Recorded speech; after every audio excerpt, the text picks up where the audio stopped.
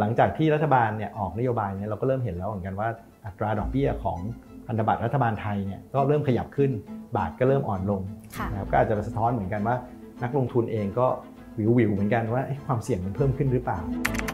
สิ่งที่รัฐบาลควรจะทำก็คือบอกว่าเป็นไปหาที่สามารถตัดค่าใช้จ่ายอื่น ๆ ลดการใช้จ่ายอื่น ๆ แล้วก็เอาโครงการที่ใหญ่ขนาด 3%ของ GDP เนี่ยเข้าไปอยู่ในงบประมาณได้ไหมใช่ไหมครับนั่นคือ ในภาวะปกติที่ที่ควรจะทำเพราะยังไงทุกปีเราขาดดุลประมาณ 3%ของ GDP อยู่แล้วนั่นจริง 3%ของ GDP ไม่ได้ใหญ่มากแต่ว่า วันนี้สิ่งที่เราบอกคือเราบอกว่าเราไม่อยากลดเราไม่อยาก cut spending ด้วย คือเราไม่อยากลดการใช้จ่ายอื่นๆด้วย เราอยากจะให้อันนี้เป็นส่วนเพิ่ม แต่ปัญหามันคือว่าเราขาดดุลอยู่แล้วทุกปีปีละ3 3กว่าของ GDP เราจะโยนมาอีก 3%กว่าของ GDP เนี่ยจะกลายเป็นเราขาดดุลค่อนข้างเยอะ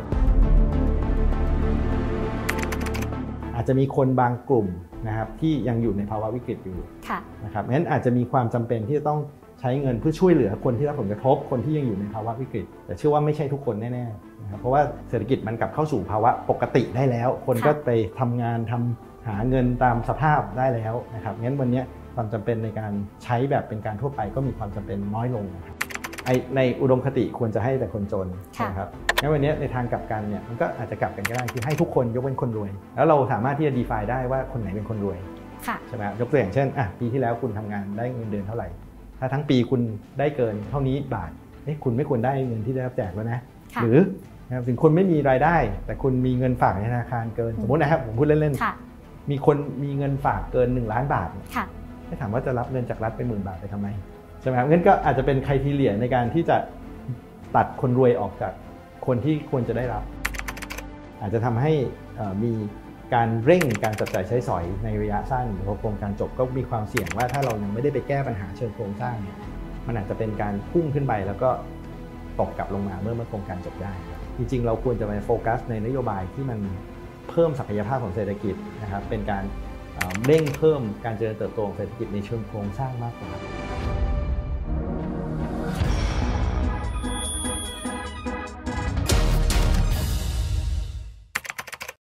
การแจกเงินเนี่ยนะครับเป็นการใช้จ่ายภาครัฐที่ทำได้เร็วที่สุด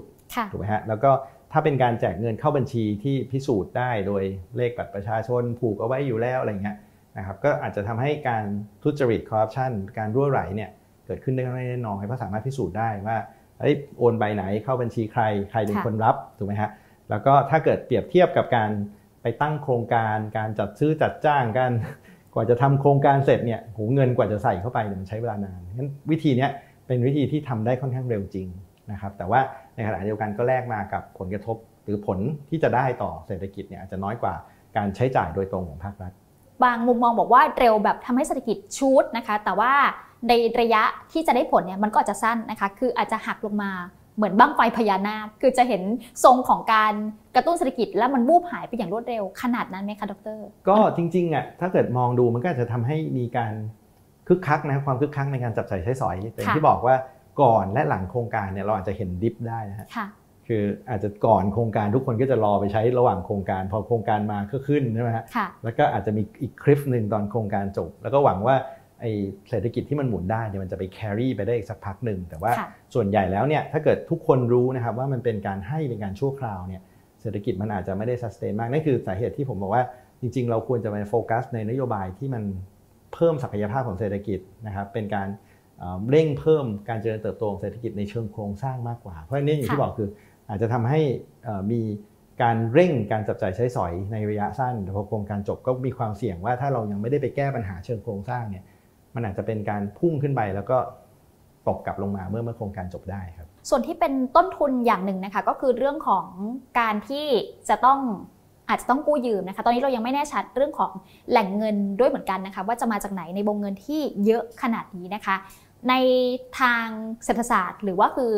จริง ๆ แล้วด้วยความเป็นไปได้นะคะ เงินขนาดนี้เนี่ยมันจะมาจากทางไหนได้บ้างคะที่จะใช้เม็ดเงินระดับ 5.6 แสนล้านเนี่ยค่ะ คือในภาวะปกตินะครับหรือแม้กระทั่งพูดถึงเมืองไทยเมื่อสัก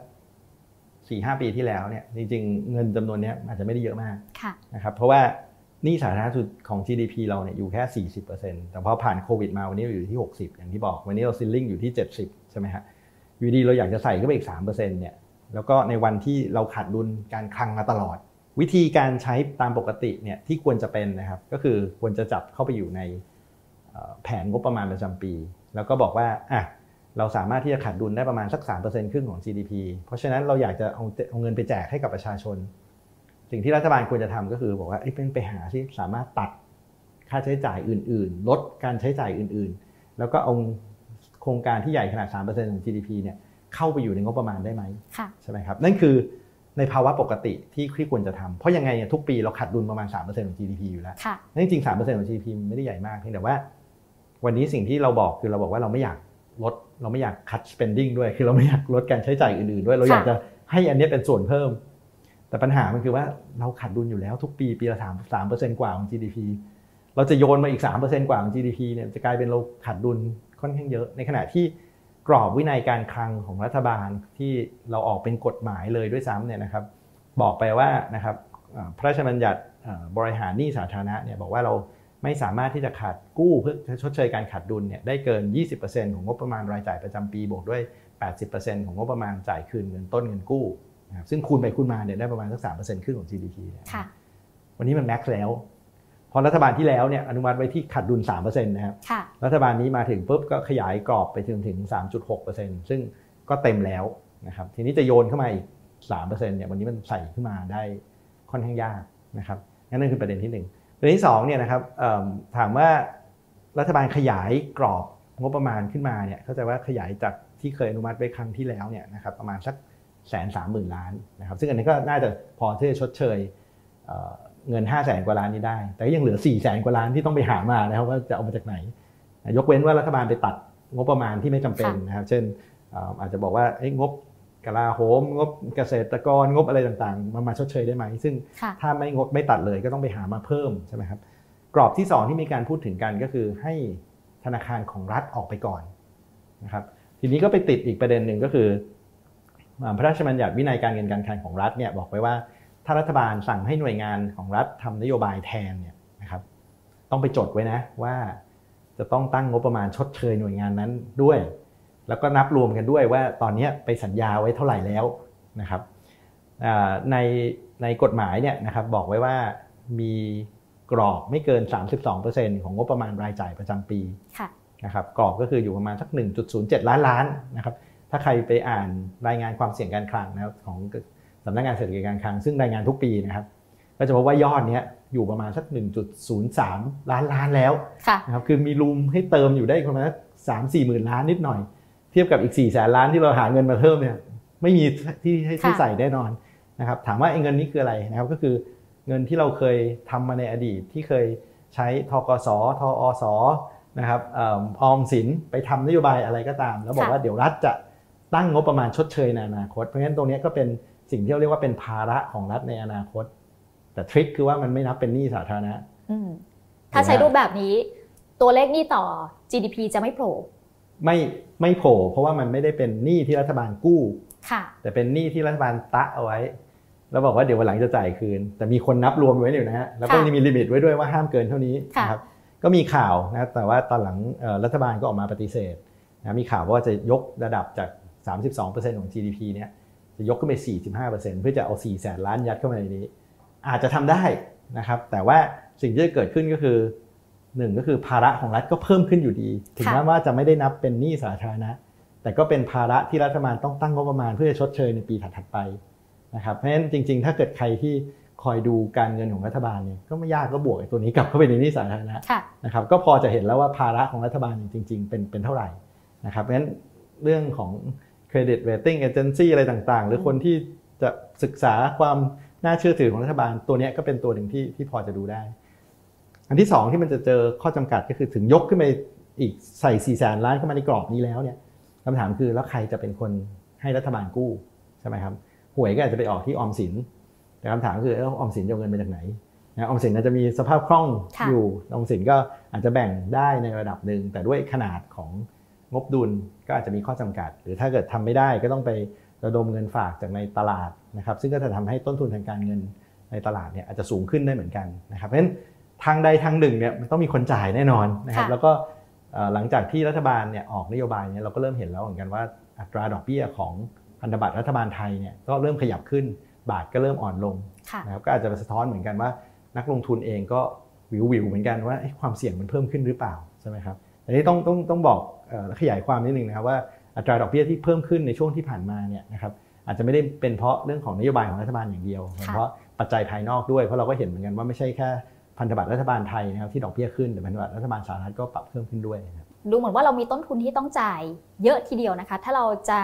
ตัดสินใจที่จะทำแต่ดูเหมือนว่ารัฐบาลก็ยังไม่ได้มีทีท่าว่าจะถอย ก็ยังไม่เคยมีความชัดเจนใช่ไหมครับว่าเงื่อนไขจะเป็นอะไรในการใช้เงินนะครับหลายหลายเงื่อนไข เช่น 4 กิโลเมตร 6 เดือนนะครับแจกทุกคนเนี่ยหรือว่าเงินดิจิตอลรูปแบบเป็นยังไงตรงนี้ ผมคิดว่าหลาย ๆ คนก็รอฟังอยู่เหมือนกันว่าสุดท้ายแล้วเนี่ยหน้าเป็นหน้าตาเป็นยังไง ผมว่านักลงทุนเองคนที่ลงทุนในพันธบัตรรัฐบาลเนี่ยก็รอฟังความชัดเจนเหมือนกันว่าสรุปแล้วเนี่ยไซส์มันจะใหญ่ขนาดไหน ต้องยกระดับเรื่องของกรอบหนี้ไปแค่ไหนนะครับหรือว่ามันจะมีภาระในเรื่องของสภาพคล่องที่จะกระทบจากการที่ต้องระดมทุนเนี่ยเยอะขนาดไหน ซึ่งอันนี้หลาย ๆ อันผมว่ามันมีคำถามอยู่ครับ ในอดีตที่ผ่านมาเราเคยใช้มาตรการที่เป็นการกระตุ้นเศรษฐกิจขนาดใหญ่ด้วยเหมือนกันนะคะ แล้วก็ที่ผ่านมามันอาจจะดูได้ผลนะคะในหลาย ๆ ห่วงนะคะ ในช่วงหลังวิกฤตต้มยำกุ้งนะคะ หรือว่าช่วงที่เราเกิดสถานการณ์แย่ ๆ นะคะ มันต่างจากรอบนี้ยังไงคะดรคะคืออันที่หนึ่งเนี่ยเวลาเราจะกระตุ้นเศรษฐกิจเนี่ยมันจะต้องเกิดช็อคในช็อคในเศรษฐกิจ คือเศรษฐกิจปีนั้นติดลบหรือไม่โตหรือว่าได้รับผลกระทบอย่างรุนแรงใช่ไหมครับ ถ้าเราถามว่าเอ๊ะเมืองไทยเคยกระตุ้นเศรษฐกิจใหญ่ๆ ตอนไหนบ้างอย่างที่บอกคือหลังต้มยำกุ้งใช่ไหมครับมีเงินกู้ที่เรียกว่ามียาซาว่าคือเอามาลงทุนไปสร้างถนนสร้างจอบงานต่างๆเนี่ยนะครับช่วงรัฐบาลคุณพิสิทธิ์นะครับหลัง global financial crisis ตอนปี 2008 มีการออกเช็คช่วยชาติ literally เช็คนะฮะตอนนี้ให้มาผมก็ไม่รู้จะเป็นขึ้นเงินยังไงนะแต่คือตอนนั้นเป็นเช็คส่งเมลเช็คไปเลย 2,000 บาทนะฮะใช่ไหมฮะแล้วก็ช่วงวิกฤต ในช่วงน้ำท่วมนะครับหลังจากน้ำท่วมแล้วก็มีการใช้จ่ายภาครัฐขยับเพิ่มขึ้นมานะครับหรือแม้กระทั่งหลังหลังจากนั้นก็มีมาตรการกระตุ้นเต็มไปหมดเลยใช่ไหมครับไม่ว่าจะเป็นการออกรถขั้นแรกอะไรต่างๆเนี่ยก็ช่วงนั้นก็เป็นการฟื้นคืนจากจากภาวะหลังน้ำท่วมนะครับหรือล่าสุดโควิดนะครับเราออกอย่างที่ว่าคือมีออกพลกรกู้เงิน 2 ครั้งนะครับมูลค่ารวมถึง 1.5 ล้านล้านนะครับใหญ่กว่ารอบนี้นะฮะ แต่อย่างที่บอกก็คือช่วงนั้นเป็นภาวะที่เศรษฐกิจได้รับผลกระทบอย่างชัดเจน ถ้าไม่ใส่เข้าไปเศรษฐกิจอาจจะเละกว่านั้นได้นะครับอย่างที่บอกคือภาวะปัจจุบันเนี่ยอาจจะไม่ได้พูดได้เต็มปากเต็มที่ว่าโอ้โหวันนี้เราอยู่ในวิกฤตเศรษฐกิจนะครับเราอาจจะอยู่ในภาวะที่เรายังไม่เคยพอใจกับการเจริญเติบโตของเรานะครับแต่เราไม่ได้อยู่ในวิกฤตแน่นอน เราออกจากวิกฤตมาแล้ว อาจจะมีคนบางกลุ่มนะครับที่ยังอยู่ในภาวะวิกฤตอยู่นะครับงั้นอาจจะมีความจำเป็นที่จะต้องใช้เงินเพื่อช่วยเหลือคนที่รับผลกระทบคนที่ยังอยู่ในภาวะวิกฤต แต่เชื่อว่าไม่ใช่ทุกคนแน่ๆนะครับเพราะว่าเศรษฐกิจมันกลับเข้าสู่ภาวะปกติได้แล้ว คนก็ไปทำงานทำหาเงินตามสภาพได้แล้วนะครับงั้นวันนี้ความจำเป็นในการใช้แบบเป็นการทั่วไปก็มีความจำเป็นน้อยลงนะครับ ดังนั้นคือทางที่จะเป็นทางออกนะคะหรือว่าทางลงของรัฐบาลนะคะ ประกาศไปแล้วนะคะ แล้วก็ตั้งใจที่จะกระตุ้นเศรษฐกิจในแง่ของการทาร์เก็ตเนี่ยก็อาจจะทำได้ แล้วก็คืออาจจะทำให้เกิดผลที่อาจจะดีกว่าการทำแบบเบี่ยงแหหรือว่าหวานด้วยนะคะ การเจาะจงเฉพาะกลุ่ม จะเป็นคำตอบสุดท้ายหรือเปล่าคะหรือว่าต้องพับแผนเลิกทำเลยในมุมมองของนักเศรษฐศาสตร์คือผมคิดว่าถ้าลดสเกลลงมานะครับแล้วก็ทำในในขนาดที่จำเป็นนะครับ แล้วก็ให้กับกลุ่มกับคนที่จำเป็นควรที่จะต้องได้รับ ผมคิดว่าคำวิจารณ์อะไรต่างๆเนี่ยนะครับอาจจะมีน้อยลง นะครับแล้วก็ต้นทุนทางการงานการคลังภาระที่จะเกิดขึ้นกับรัฐบาลเนี่ยก็จะมีน้อยลงงั้นรัฐบาลก็จะมีเงินไปเหลือไปทำอย่างอื่น เพิ่มมากขึ้นนะฮะนี่ถามว่าแจกยังไงนะครับหลายหลายคนพูดถึงมาตรการเฉพาะเจาะจงใช่ไหมหรือ targeted measures นะครับซึ่งอาจจะทำได้หลายรูปแบบนะครับถ้าในโลกแห่งอุดมคติเนี่ยก็คือบอกว่าเราควรจะให้กับคนที่มีรายได้น้อย หรือคนที่ได้ผลกระทบจากโควิด หรือคนที่ มีปัญหาจริงๆนะครับแต่ปัญหาของเราเนี่ยนะครับคือเรามีข้อมูลไม่เพียงพอ คือเราไม่รู้ว่าใครเป็นคนเดือดร้อนนะครับ เพราะว่าถ้าเราไปดูข้อมูลของคนไทยเนี่ยนะครับ เราในจำนวนคนแรงงานวัยทำงานสัก 38 ล้านคนเนี่ยนะครับมีคนไฟภาษีอยู่แค่ประมาณสัก 12 ล้านคนนะครับงั้นเราไม่รู้จริงๆว่าเอ๊ะคนไหนมีรายได้น้อย คนไหนเป็นคนที่ควรจะต้องได้รับนะครับหรือว่า ระบบคนที่อยู่ในระบบประกันสังคมเนี่ยก็มีไม่ถึงครึ่งของของคนส่วนใหญ่งั้นเรามีข้อมูลค่อนข้างจำกัดเกี่ยวกับว่า ความเข้าใจว่าวันนี้สภาพเศรษฐกิจของประชาชนเนี่ยดีกลับขึ้นมาหรือยังเพราะหลายคนอยู่ในนอกระบบนะครับนั่นเองคือเป็นปัญหาใหญ่ ถ้าถ้าจำจำกันได้เนี่ยช่วงโควิดจำได้ที่เราบอกว่าเฮ้ยเราต้องแจกเงินให้กับคนที่รับผลกระทบปรากฏว่าเราไม่รู้ว่าคนไหนได้รับผลกระทบ เราพยายามที่จะบอกว่าโอ้เราเอา AI นู่นนี่นั่นมาจับ มีคนมาประท้วงทุกวันเลยบอกว่าฉันก็ผลกระทบฉันก็ได้ผลกระทบสุดท้ายก็แจกให้ทุกคนนี่คือเป็นข้อด้อยเลยว่า เราไม่รู้จริง ๆ ว่าคนไหนเป็นคนรายได้น้อย คนไหนเป็นคนได้รับผลกระทบ เพราะเราไม่มีข้อมูลนะครับนั้นในอุดมคติควรจะให้แต่คนจนนะครับงั้นวันนี้ในทางกลับกันเนี่ยมันก็อาจจะกลับกันก็ได้คือให้ทุกคนยกเว้นคนรวย แล้วเราสามารถที่จะ define ได้ว่าคนไหนเป็นคนรวยใช่ไหมยกตัวอย่างเช่นอะปีที่แล้วคุณทำงานได้เงินเดือนเท่าไหร่ ถ้าทั้งปีคุณได้เกินเท่านี้บาทเอ๊ะคุณไม่ควรได้เงินที่ได้รับแจกแล้วนะ หรือนะครับถึงคุณไม่มีรายได้ แต่คุณมีเงินฝากในธนาคารเกิน สมมตินะครับผมพูดเล่นๆมีคนมีเงินฝากเกิน 1 ล้านบาทเนี่ยแค่ถามว่าจะรับเงินจากรัฐไปหมื่นบาทไปทำไมใช่ไหมงั้นก็อาจจะเป็นใครทีเลียในการที่จะตัดคนรวยออกจากคนที่ควรจะได้รับใช่ไหมครับงั้นตรงนี้มันอาจจะอาจจะดีกว่าเราพยายามไปหาคนจนด้วยนะเพราะว่าถ้าเราไปหาคนจนเนี่ยไม่มีทางที่เราจะหาคนจนเจอหมด งั้นมีโอกาสที่เราจะทำให้คนจนเนี่ยที่ควรจะได้รับเนี่ยหลุดออกไปจากคนที่ได้รับจริงๆในขณะที่ถ้าเราบอกว่าเรา exclude เฉพาะคนคนรวยเนี่ยอาจจะมีคนแกล้งรวยบางคน อาจจะยังได้รับ หรือคนแกล้งจนนะครับคือคนที่บอกว่าตัวเองไม่รวยตัวเองได้รับก็ยังดีกว่านะครับว่าเราไป exclude คนคนจนจริง ๆ ออกจากปัญหา แต่ว่ามันก็จะไปเจอปัญหาอื่น ๆ เช่นเอาถ้าแจกกันอย่างนี้บ่อยๆเนี่ยคนก็จะมี incentive ในการไม่รายงาน ตัวเลขของตัวเอง ไม่รายงานรายได้ไม่รายงานนะครับจริง ๆ มันต้องอาจจะต้องคิดในระยะยาวด้วยว่า ถ้าเราจะทำกลไกพวกนี้เราทำไงให้ดึงคนเข้ามาในระบบเพิ่มขึ้น เพื่อรัฐบาลเองจะได้มีข้อมูลเกี่ยวกับประชาชนนะครับ แล้วก็มีแรงจูงใจให้เขาเอาเข้าเข้ามาในระบบเพิ่มมากขึ้นนะครับดังนั้นก็คือให้ทุกคนยกเว้นคนรวย นั่นเป็นหนึ่งในวิธีที่ทำได้นะครับอาจจะเป็นหนึ่งในข้อเสนอที่หลาย ๆ คนกำลังพูดถึงกันด้วยว่า เอ๊ะ หาอะในอุดมคติไปหาก่อนว่าคนไหนควรจะได้แต่ถ้า คิดไม่ได้คิดไม่ออกหรือไม่มีข้อมูลจริง ให้ทุกคนยกเว้นคนที่เราไม่อยากจะให้ก็ได้อย่างน้อยก็ลดขนาดของโครงการลดต้นทุนที่จะเกิดขึ้นกับภาคการคลัง แล้วก็อาจจะทำให้เหลือช่องว่างไปทำอย่างอื่นเพิ่มมากขึ้นนะครับถ้าดูโดยกำลังบังชาทางการคลังนะคะลดขนาดลงมาในระดับไซส์เท่าไหร่ถึงจะเหมาะสมคะดรคะคือจริงๆนะในโลกแห่งอุดมคติเนี่ยนะครับผมคิดว่า เราไม่ควรใช้มาตรการนอกงบประมาณมากจนเกินไปนะครับ จริงๆ เราควรจะทำเท่าที่เราสามารถที่จะทำได้ในกรอบงบประมาณนะครับ อย่างเช่น ยกตัวอย่างถ้าวันนี้นะครับกรอบงบประมาณเนี่ยคือบอกว่าเราสามารถขาดดุลได้มากที่สุดคือ 3.6%ของ GDP ซึ่งวันนี้รัฐบาลอนุมัติงบประมาณมาแล้ว 3.6%ขาดดุล 3.6%ของ GDP อุดมคติเลยเนี่ยถ้าสามารถยัดทั้งโครงการเข้าไปในงบประมาณรายจ่ายประจำปีของของงบของรัฐบาลเนี่ย ผมว่าดีที่สุด คือไม่กู้เพิ่มเลยดีที่สุด กู้เพิ่มนะครับ แต่กู้เพิ่มในกรอบที่รัฐบาลสามารถที่จะทำได้แต่วันนี้ที่เราพยายามจะทำเนี่ยคือเราบอกว่ากรอบงบประมาณปกติเนี่ยมีไม่พอ เราเลยต้องไปเพิ่มกรอบตรงนั้นกรอบตรงนี้ไปหลบตรงนั้นหลบตรงนี้นะครับแต่ถ้าเราสามารถยัดทั้งโครงการกลับเข้าไปอยู่ในงบประมาณ ซึ่งอาจจะต้องตัดงบประมาณอื่น ๆ บางส่วนออกนะครับแต่ว่ามันก็เป็นเป็นรูมที่รัฐบาลสามารถพูดได้เต็มปากว่าเนี่ยอยู่ในกรอบที่รัฐบาลสามารถที่จะทำได้นะครับมากกว่าที่จะ โอ้โหเราขาดดุล3 3.6%ของ GDP อยู่แล้ว แล้วเราอยากจะทำอีก 3%กว่าของ GDP ใส่เข้ามาอีก ซึ่งวันนี้ผมว่าคนกังวลตรงนี้ว่ารัฐบาลเพื่อที่จะไปทำโครงการนี้จำเป็นต้องไปหารูมตรงนั้นตรงนี้มาเพื่อที่จะใส่โครงการพวกนี้เข้าไปอีกครับ